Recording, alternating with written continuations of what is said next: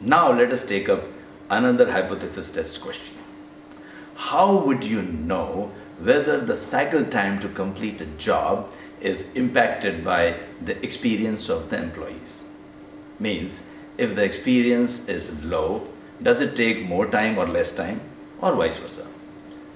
Now, experience of the employee is continuous data and time taken to complete a job is also continuous data. So continuous and continuous, you will be using a scatter plot and then correlation and regression. Regression, if you get the p-value less than 0.05, that means there is a strong relation and you can even do a regression equation. You can create an equation to predict the cycle time taken by an employee based on the experience.